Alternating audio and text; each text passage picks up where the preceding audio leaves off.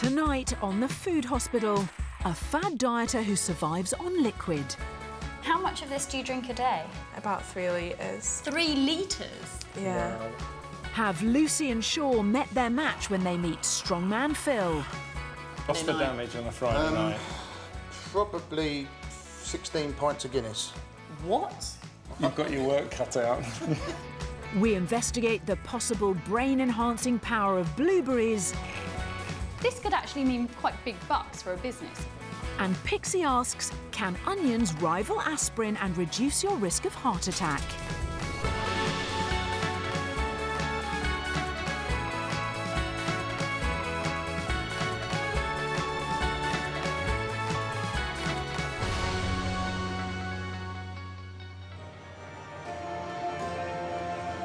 First to arrive at the food hospital is a 53-year-old man from Rochester who's eating himself into an early grave.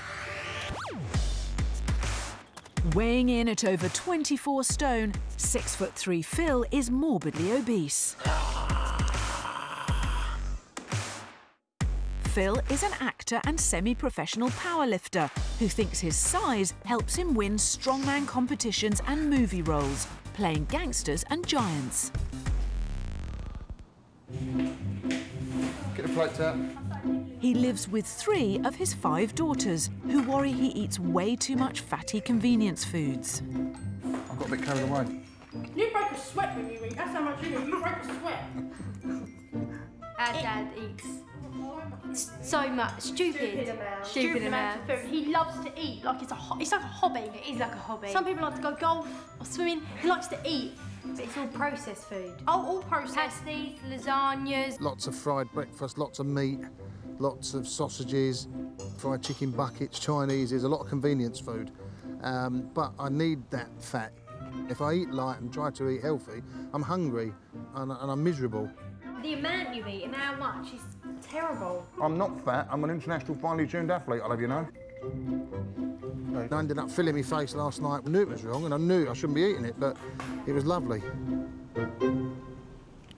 Phil may think they taste lovely and keep him big and strong, but his excessive consumption of takeaways and convenience foods could also be killing him. A couple of times I've had to stop when I was on holiday, walking upstairs and take lungfuls of air in, and people, you know, I've had people say, "You're right," And I'm thinking, "Whoa, you know, am I all right? I look big and I can turn a car over, but I can't run for a bus. If each flight of stairs I go up's getting harder and harder, it ain't going to take a lot of working out. What's going to happen?" And I thought the thought of that happening to me to leave the, the girls would be devastating. It is upsetting because we want him to be healthy, we want him running about, and we want him here for a really long time. I want to see grandkids. And if I don't do something soon, I might not. Sorry.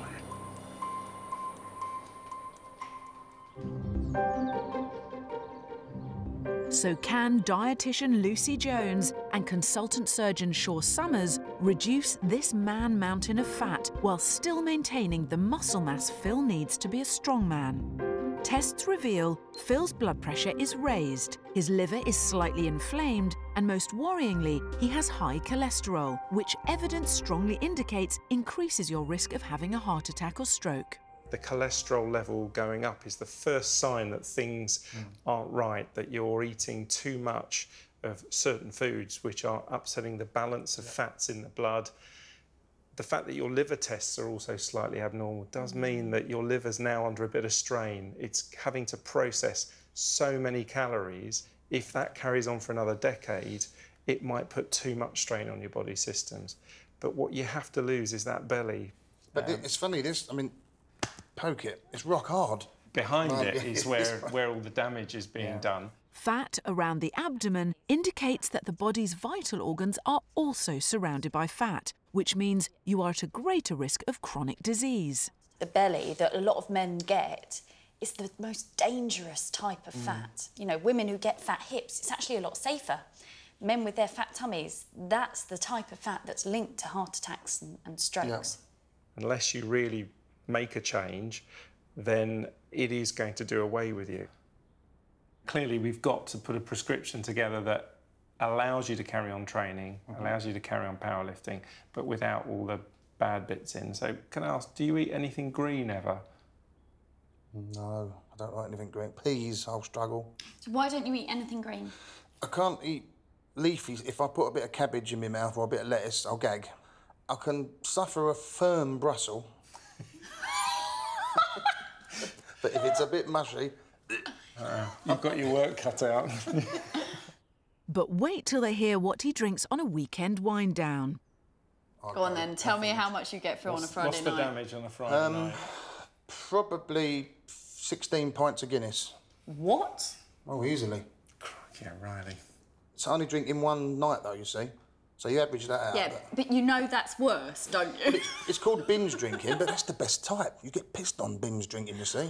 If you were doing that two or three nights a week, you would be on your knees now. Yeah, well, I was on my knees Friday after the 16 pints of Guinness, funny enough. But that was getting the pesties out of the oven. Oh, dear. Joking aside, drinking that amount of alcohol will only compound Phil's high cholesterol problem. And Lucy's prescribing a diet plan that will help anyone that wants to lower their cholesterol and lose fat but keep their strength. So, Phil, what we would like to do with you is give you a cholesterol lowering plan that's also heart healthy. Okay? So, what that means in English is it's not going to be low fat because for your sheer calorie needs, there has to be a, a moderate level of fat, but it's going to come from very different sources. Swapping saturated fat laden foods, so that's Phil's takeaways, processed meats, and pasties, with unsaturated fats found in oily fish, avocados, nuts, seeds, and olive oil, has been shown to lower cholesterol. What we're also going to do is still give you protein, because I know you're really concerned about your muscle growth and repair. But again, with your protein, we've got to wean you off all this meat and give you more vegetable and dairy proteins. So things like nuts and seeds, pulses, beans, things like traditional family foods like lasagna or shepherd's pie. I eat a lot of lasagna. Do you? And what you can do is half the amount of meat and actually boost the rest up using things like beans and pulses because Yes. they go really nicely in Yeah, yeah, dishes no, I, like c- that. I could relate to that. And that's one way of reducing the saturated fat coming from your meat and really still keeping the protein because you'll be getting it from the beans and pulses. The second way Lucy wants to try and reduce Phil's cholesterol is to increase the fibre in his diet. And there's two types of fibre. One's called insoluble fibre, like roughage, and you also get that from things like whole grains. Mm-hmm. And that helps everything to move through your gut more quickly. Okay? The other type is soluble fibre, and that's in a lot of things like fruit and also in mm. things like oats. They contain something called beta glucan. And what that does is it turns to like a sticky gel in your gut and it helps you to not absorb cholesterol from your diet. And that obviously then has an impact on the cholesterol in your blood. I mean, just like everyone else in this country, convenience is important to you. I know that, but so's living. Absolutely.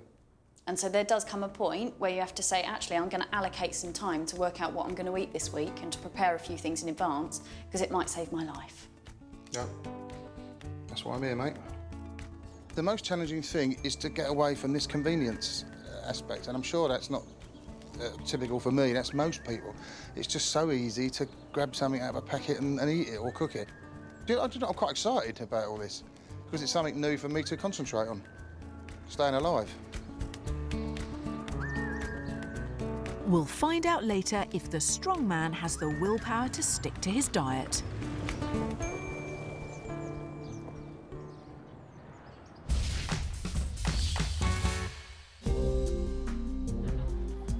Series, The Food Hospital is putting the diets of the nation under the microscope. And tonight, we are asking can eating blueberries enhance your brain power?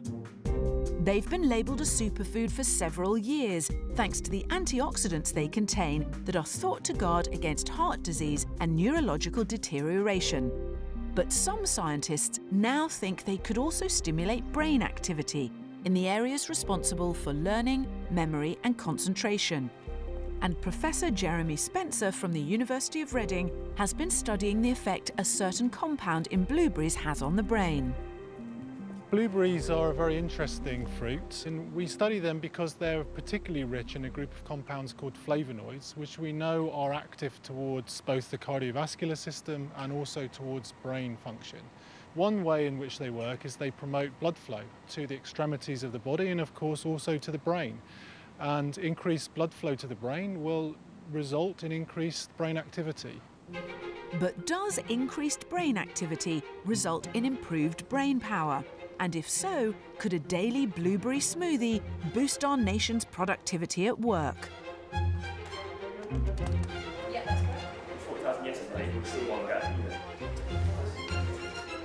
The CEO of busy London agency Bliss Media jumped at the chance to take part in a food hospital experiment designed to see if blueberries can improve his sales team's performance.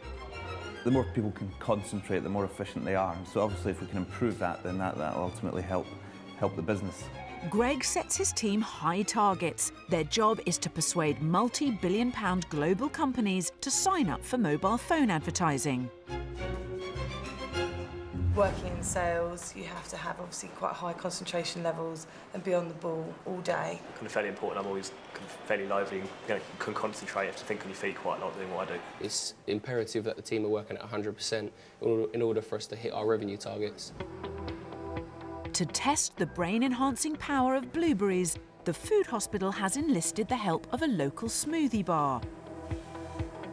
In the first week at 10 a.m. each morning, they'll deliver a banana smoothie to every member of the sales team. In the second week, the sales team will drink a daily blueberry smoothie. The sales team have not been told which of the drinks contain potentially brain-enhancing flavonoids. At various times throughout the week, the team will complete a series of brain tests. And if the flavonoids in blueberries do improve brain power, there should be an improvement in scores in the second week. Blueberries. Unknown to the media workers, bosses Greg and Charlie have also been asked to keep an eye on productivity in the office. I'm fairly sceptical in terms of how the fruit directly uh, influences concentration, but it'll be really interesting to see the, the test results. So, will a daily blueberry smoothie make Greg's sales team more productive? Find out later.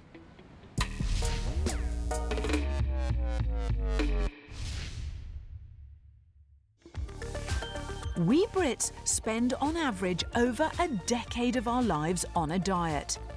And the media bombard us with news of slimmed down celebrities who've achieved their svelte figures thanks to the latest miracle fad diet. The food hospital's next visitor is a fan of the maple syrup detox, made prominent five years ago when pop star Beyonce was reported to have lost 20 pounds in 10 days on the diet. My name's Lauren, I'm 18 years old, I'm from Preston and I'm a crash dieter. In the last two weeks, Lauren has shed a stone on the maple syrup detox, but she's now feeling unwell. I get headaches and feel sick. I can't hold a conversation because I'm forgetting what I'm talking about because I'm so tired.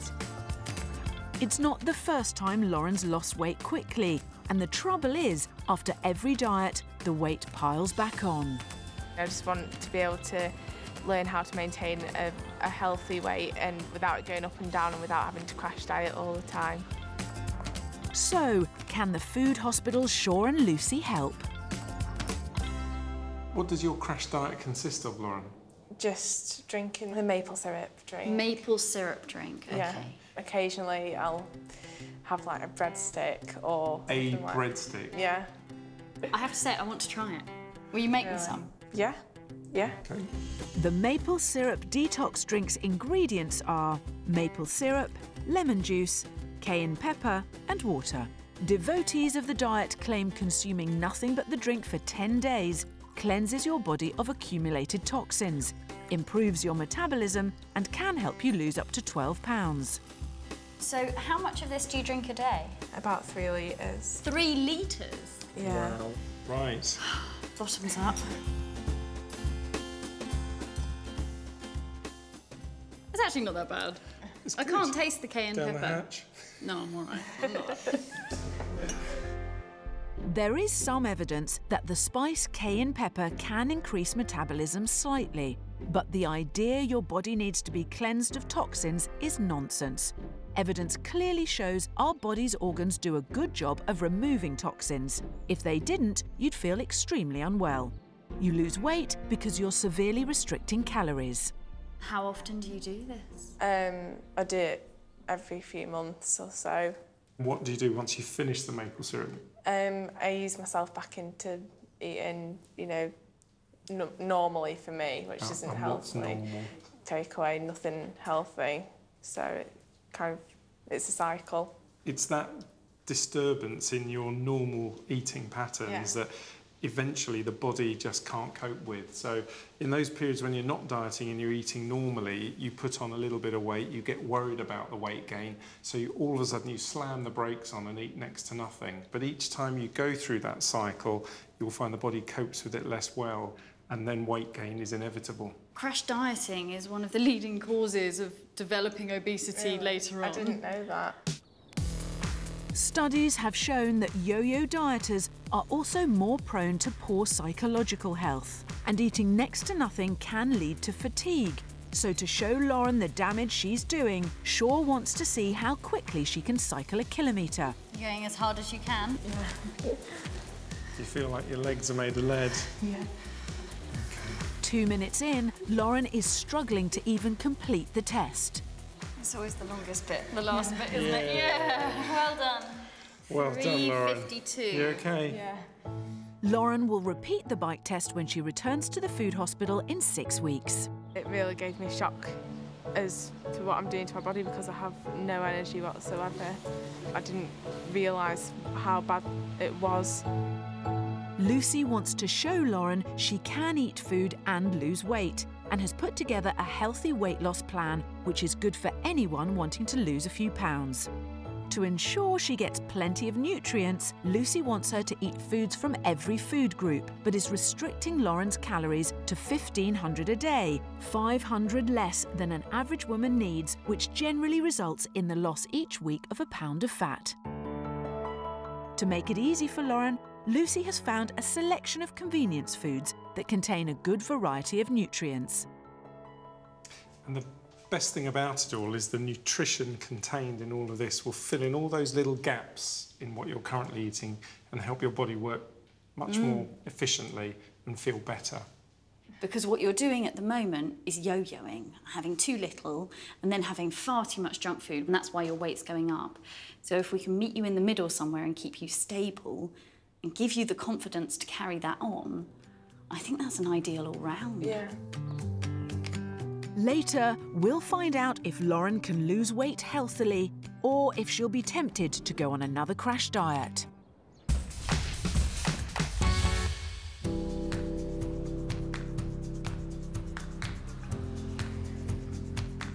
Last month, a pasty. This month, mm, In Rochester, morbidly obese Phil has been following his heart healthy, cholesterol lowering food plan for three weeks. Are you having some of that hummus as well? Yeah, I love the hummus. With his daughter's help, Phil is trying his hardest to eat more fibre and less saturated, fat laden takeaways, pasties, and meat. Oh, look what I've just found. Not for you. Oh, no, they're not. They're for guests. When we have tea round for guests, that's not for you. To date, he thinks he's doing great. I'll tell you what I do with this. Where I used to get, I'd be peckish. Is that mine, mate? I'd get peckish and eat crisps or chocolate biscuits. Now, when I'm peckish, I'll just eat some of this, brown bread and hummus. It's actually quite tasty. Takeaways in the last three weeks, I can honestly say um, one. Every time I've come in, he's eating salmon and rice. He's been so on top of it, and he's bit like he rings me nearly every day asking me to buy him food. And it's go up the shop and buy me some salmon, some rice, and some even brown pita bread. I've just had two little bits of salmon, some rice and beans, and that hummus, and I'm full up. I mean, I would never have touched the salt. That would have been my starter. But Yeah. I'm, I'm happy with that. Phil might be doing well with food, but what about the booze? A recent wedding was a big test of willpower. I probably only had about 12 pints of Guinness and about eight cans of Stella on top of that. So I was trying. More willpower is obviously needed. Even though I was trolled, I was looking at the food, there was the Scotch eggs and all this, and I kept away from all that. I found this salmon, it was one of them big poached fellas that just sit there, and there was one at the back that hadn't been touched. And I had the ladle, and I was just ladling off its back, and I was just, so I was eating salmon. If you were under the influence and you were still eating salmon, I was that, trying to that eat says in. something. People say to me, how's your diet going? And I say, it's not a diet. Because as soon as you call it a diet, you're doomed to fail. I said, do you mean my uh, change in lifestyle? Is that what you're talking about? I said, no, that's going really well. After just three weeks, Phil feels fitter and has started running. This is what my girlfriend bought me. These are the extra padded Turbo Mark Fat Git model that you can run on and not break your knees. But it hasn't all been plain sailing. One week in, Phil started to worry he was losing his powerlifting strength. I was aching, my strength went down in the gym, my muscles, joints was aching. I thought this ain't going to work. But then I just increased the protein. I took a few extra bits and pieces. I spread it out, and it went. And now that was the second week I started feeling good. And this week in the gym, ironically, I lifted more than when I was at my strongest. So it's another myth. I've, I've, if you train, you don't have to eat fat and shit foods to get to get strong. You have to eat a lot, but not necessarily the rubbish I was eating. Will Phil keep up the good work, or will the novelty wear off? Find out later when he returns to the food hospital. As well as lowering cholesterol, a high fibre diet like Phil's can also decrease your chances of getting Britain's second biggest cancer killer, bowel cancer. The Food Hospital has launched a fibre challenge to encourage people to add more fibre to their diet and record their resulting bowel movements. Human resources consultant Andy has been on the fibre challenge diet for two and a half weeks. One of the changes that I noticed is the flatulence to the extent where I now have to have a separate duvet just so that I'm not inflicting any pain and suffering on my partner. when I'm tempted to go for the wrong thing, I have the handy reminders of the Fibre Challenge posters to remind me which is the right thing that I should be reaching for when I open this cupboard. Best bit's probably knowing that it's doing some good. Beforehand, I used to come home from work and think, right, just going to sit on the sofa now and veg for the rest of the night. And now, uh, yeah, it's given me a bit more energy.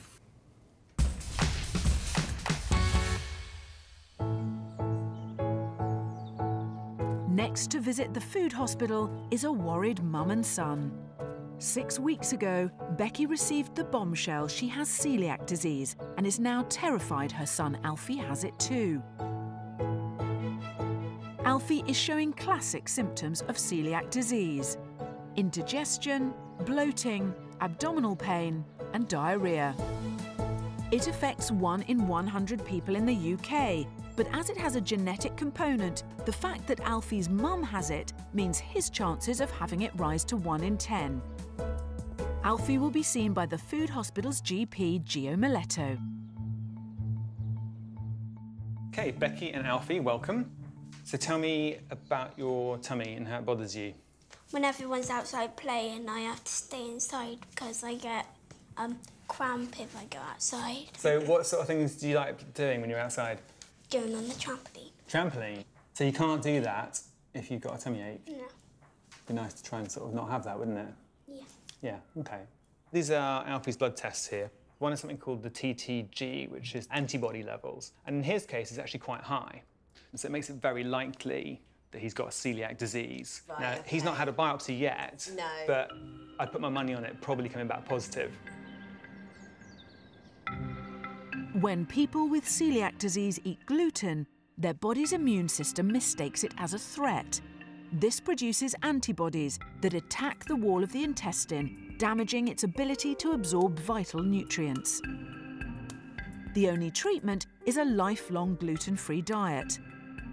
But as wheat, rye, and barley all contain gluten and are in many family favourites, it's a minefield to know what you can and can't eat. Dietitian Lucy has some advice. Over here, we have a lot of foods that you and Alfie can eat safely. And some of these are naturally gluten-free, so things like the rice or the lentils. Other things have been produced so that they're gluten-free. So things like the gluten-free Jaffa cakes. Lucy wants to show Alfie that if he does have to eat a gluten-free diet, it won't mean he will have to give up all his favourite foods. Well, today we thought we might make a pizza. Do you like pizzas? Yeah. Yeah? So these are special pizza bases that are gluten-free. So the first thing, once you've put your tomato paste on your pizza base, you can pick what toppings you like. Ham and cheese. Ham and cheese. You're staying clear of anything that might be classed as a vegetable, is that right? They not your favourite? So Alfie, will you do me a favour? You cover up your ears. Right, very quickly. If you can't get them to eat vegetables, one of the things you can do is get the tomato paste and puree vegetables into it so they can't see it, they can't That's taste really it, they good can't idea. smell it, but it's in there. Okay, that's a good idea. okay, and take them off. Okay. it's gone really, really well. Hopefully, when we get home, we can put some things into place for if and when he gets diagnosed. It's been really good. How's it taste? Would you know that this was a gluten-free pizza or does it taste just like a normal pizza? Tastes just like a normal pizza. Does it? So you're not going to feel like you're missing out at all? Mm. Excellent. You should never remove any major food group from children's diets until you know for sure you must. So Alfie needs to have a biopsy to confirm if he has celiac disease. Later we'll find out the results. Coming up, we reveal how blueberries affect a busy sales team's performance. And can onions rival aspirin?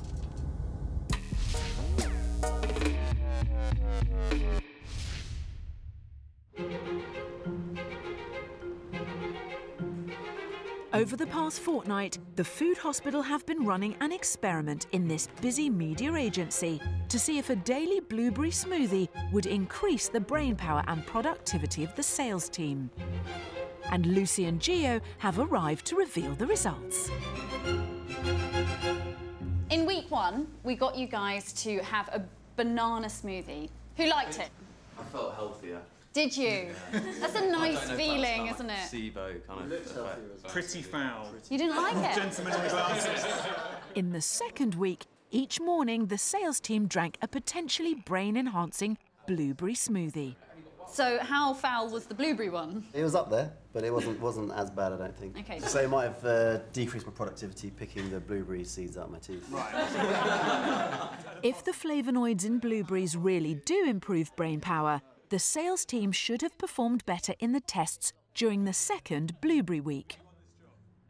Now, the first test that we did on you guys was a letter memory test. You all remember that one? In this test, each worker was shown a series of letters without knowing how long the sequence would last. They then had to recall the final four. On the Friday of each week, the sales team did the test twice, once before their smoothie and then mid-afternoon. The letter memory test was looking at things like your accuracy, your ability to remember, and your ability to take on new information quickly and discard stuff that you don't want anymore. As we get more tired in the day, you'd expect there to be an afternoon dip in concentration, and the test was designed to see if blueberries would stop this. The graph shows that in Banana Week, their performance in the afternoon, as expected, dipped by around 5%. But in Blueberry Week, their performance actually increased by about 3%. So this could actually mean quite big bucks for a business if it's showing that something could actually increase your productivity throughout the day. So how about the outcome of the second test? In the Stroop test, the workers were shown the name of a colour but had to record the colour it was written in rather than the word itself. This was designed to measure their ability to filter out unwanted information. In Banana Week, their concentration tailed off, which is what you'd expect in any normal week. In Blueberry Week, the concentration levels dipped too, but not so far.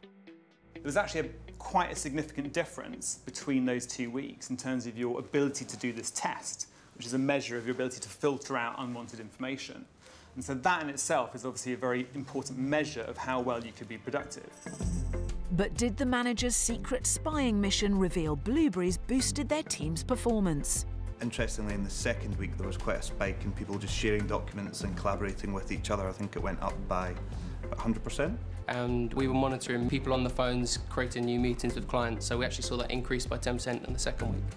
So, what did the company's sceptical CEO make of the results? The results were quite surprising. I wasn't expecting such a, I guess, a obvious shift. Blueberries are just one of those fantastic flavonoid foods that help to boost your brain. But you can pick any dark red or purple skin fruits and vegetables for the same nutrient punch. Things like blackberries, plums, red apples, red grapes, and even aubergines can help to boost your brain and body.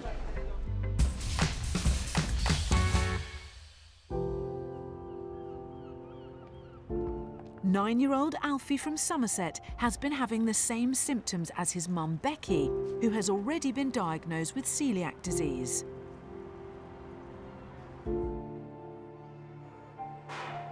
Today, he's come to Bristol Children's Hospital to have a biopsy to see if he has the same condition. The disease is often left undiagnosed, as many of the symptoms are mistaken for irritable bowel syndrome. Alfie will be put under general anaesthetic before a tube is inserted down his throat. I feel pretty scared because I don't know if I'm going to wake up when I've got the tube down my throat. You won't wake up, darling. You have to be brave for them, don't you? You can't break down and cry in front of them. So yeah, I'm okay. A sample is taken from the lining of Alfie's gut. Okay, we'll get the biopsies, please. If he does have celiac disease, there will be damage to his villi, the tiny hair-like protrusions lining the small intestine that are crucial for helping to absorb food.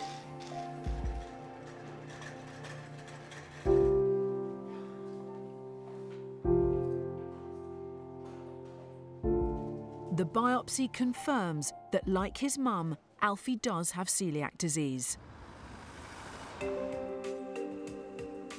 Back home in Somerset, Becky puts her son on a gluten-free diet. Separate bread for me and Alfie. We have to have separate butters. We have our own tomato ketchup, don't we? Mayonnaise. That's our cupboard.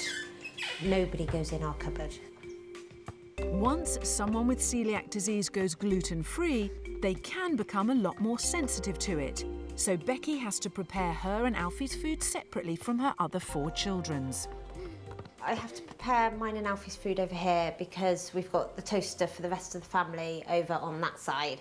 Um, and obviously you get the crumbs off the bread and if the crumbs get into what we're eating, basically it can make us quite poorly. Kids, lunch! But she's been able to find lots of gluten-free alternatives to Alfie's favourite foods. Some in there you can have and some in there you can't have. Do you know what you can and can't have? I don't um, miss my crisps that much because I can still have some really nice crisps.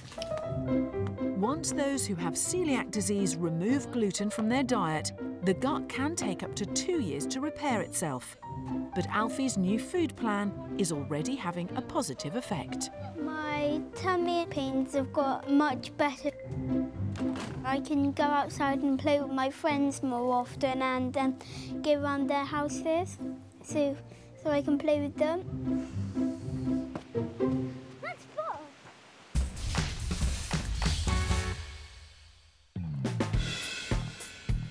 I'm Dr. Pixie McKenna, and throughout this series, I'm identifying the heroes of the food world. And today, it's the turn of the onion. I've come to Newent, Gloucestershire to join in the celebrations of this true food hero. The people of Newent have been celebrating this vegetable for the last 800 years. Traditionally, on this day, the town celebrated the start of the year's onion harvest. But today, the fair sees local onion growers competing to see who's grown the biggest, most attractive and flavoursome varieties. And the first thing I want to do is find out just how well the people of Newent know their onions. I love onions, to be honest. Do you think they're good for you? Very good for you. Why is that? Where have you heard that? Antioxidants. Antioxidants, Yes, right? yes. What about you? Anything else? I agree with her on that. I don't Yeah? know much whether they're good or not. I just like them. Right. I'm a great believer in onions. Okay. When you've got a cold or anything like that, if you've got Right. a cold, they're good for you. And I think they uh, help your blood circulation as well. Time for me to do a little taste test in the annual Onion Speed Eating Competition. Ready? Three, two, one, stop! I'm not sure eating onions at breakneck speed is good for my health, but what I do know is onions are a good source of vitamin C, dietary fibre, and folic acid, which are all helpful for a healthy heart. In addition, some scientists now believe onions could also have the same blood thinning effect as aspirin, which I'd say is definitely something to cheer about.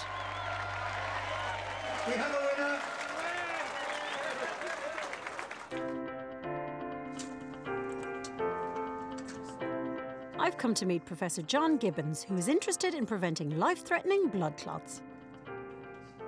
Aspirin is used very effectively to prevent um, heart attacks and strokes, but in many people they have problems, have side effects. I do. I'm allergic to it, Yeah. so this is very So- interesting for me. So aspirin will be no good for you. Mhm. So w- the big questions that are asked in this whole area of research is how could we better prevent thrombosis? Some of that's through drug development, but in this particular example, this could be with regard to how we um, how we change our lifestyles, the sorts Yeah. of diets we eat, and the sorts of things that are present in our food. Close your eyes and think of England. Time for me to do my blood donation in the name of science. Our blood has lots of cells. Red blood cells carry oxygen, white blood cells fight infection, and platelets are like a repair kit for when we cut ourselves. But some people's platelets clump together too much, which causes thrombosis, a blood clot, which can lead to a stroke or a heart attack. Half an aspirin can, for many people, help prevent this. But Professor Gibbins thinks an antioxidant in onions called quercetin could potentially do the same thing.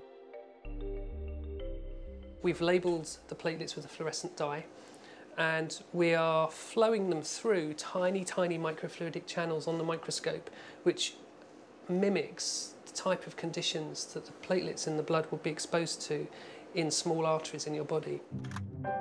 On the left, we see blood that's not been treated with quercetin. The platelets clump together, ready to form a clot. But on the right hand side, the quercetin stops platelets from clumping together, and therefore the blood is less prone to clotting. So, does that mean simply eating lots of onions could thin our blood? Another scientist, Julie Lovegrove, has helped to run a trial on a group of volunteers. Yeah, we have done some studies looking at uh, quercetin-rich onions that were naturally bred to be high in quercetin. Um, made this into a soup uh, and fed it to a, a small number of volunteers. It was only a small study. And we have found that um, it did have a, a significant effect on reducing their blood clotting uh, ability. You'd need to eat lots of onions to have the same blood thinning quality as aspirin. But some farmers are starting to breed quercetin rich varieties, and generally, red onions contain the highest amount. So while they don't yet rival aspirin, they may well do in the future. And in the meantime, eating onions is good for your heart. Coming up, crash dieter Lauren and morbidly obese Phil return to the food hospital. Well, Phil, you have lost.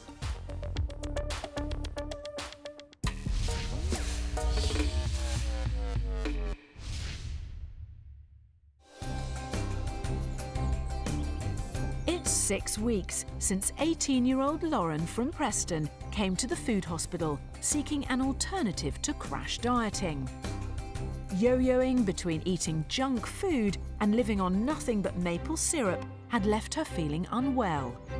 Lucy put her on a healthy weight loss plan. So, how she got on?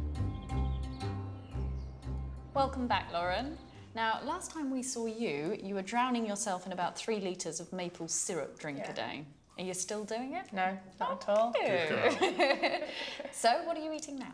Balanced meals, really. So in the morning I'll have um, fresh fruit, and then maybe a handful of bran, bran flakes and then um, almonds on top, you know, for protein and carbohydrates. Wow. Yeah. You've got the words. yeah. yeah. Are you feeling better? Yeah, so much better. Um, I've got more energy. Last visit, Lauren weighed 10 stone 7 pounds. In six weeks, what effect has replacing the maple syrup drink with healthy eating had? It's a big change in six weeks. Really? You've lost a stone in weight. Really? Yep. That's another stone in weight lost without a fad diet. Can't believe that at all. And that's by eating more calories than you were, Yeah. but in a structured way that your body can deal with. Last visit, Lauren did a bike test. She cycled a kilometre in 3 minutes 52 seconds and was left exhausted. Now she's eating healthy food. Will she have the energy to beat her previous time? That's great.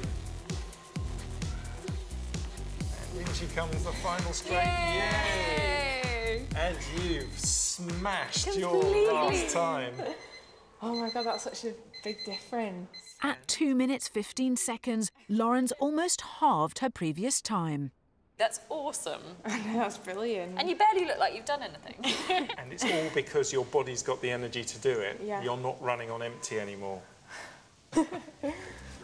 Now that Lauren has achieved an optimal weight for her height, she can maintain it by eating the same number of calories that she burns.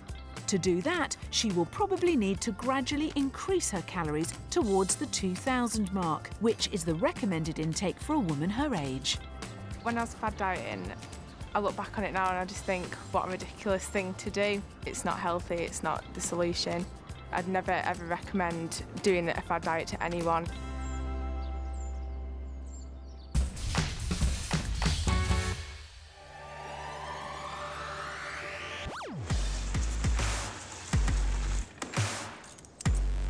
Powerlifter and actor Phil is paying a final visit to the food hospital. Five weeks ago, Phil had high cholesterol, was morbidly obese, and was eating himself into an early grave. He was prescribed a healthy heart food plan, but can just five weeks change a lifetime of abuse? Hello. Skinny lady. Oh, not quite. not quite as skinny as I can be. How are you? Yeah, really well. How nice are to you? see you. Marvellous. You look a lot smaller. That space between your braces is not bulging as much as it used to. No, it's definitely gone down. Do you know what? It's fantastic. It really is. It's, I can't believe in, in, in just that short space of time, I've got more energy. I can train for longer. My daughters have said when I go home every night now, instead of just sitting in front of the telly, I'm out walking the dog. I'm just doing more. I've just got more energy. I'm not eating anything fried. I've not eating any anything processed. No pasties, no curries, no fish and chips. All that's gone. Which All I- is astonishing considering how much of that you were eating before. Yeah, it was. Now, the $64,000 question could you keep this up? I feel too good to, to go back. I've laid off the, the booze as well. I've, I've had the odd night. What happens on the Friday nights? I've been sitting in with the and watching telly. Really? Good boy. And I had a glass of wine instead of all them Guinnesses. How many glasses of wine? I need two. Really? But do you feel better Pretty for that? glass. Oh, dear, definitely. Time to find out how Phil's new lifestyle has affected his cholesterol and weight. You excited? Just get them on. You put standard there instead of athletic. I'm quite upset. Okay, Phil, off you step. Well, Phil, you have lost nine kilos in weight. That's Crikey. astonishing. That's almost a stone and a half. I know. And the important thing about that, five kilos of that weight loss is fat. That's why your tummy feels better. You've lost nearly a stone of fat. Crikey. You have lost a bit of muscle, but that's normal when someone adapts and adjusts their diet and lifestyle. But that will come back. Yep. The fat won't. So well done. It means you're no longer morbidly obese. Really? That's good. Yeah. so I'm just obese now. Yeah. Oh, that's good. And the other proof is in your blood test results. When we first met you, your cholesterol was starting to creep up. It was 5.7. After only a month, it's down to 5.1. So that's a big change. And you were worried before that you wouldn't get the jobs you were getting because you couldn't be the big man. Still that's- worried or not No, not worried? really, because funny enough, someone's in the gym, you look bigger. And I said, well, I've lost a stone and a half. He said, no, but your shoulders look bigger because my waist is going in. Absolutely So it's all about, you know, so... Um, So you're going to be a muscly ogre, not a fat ogre.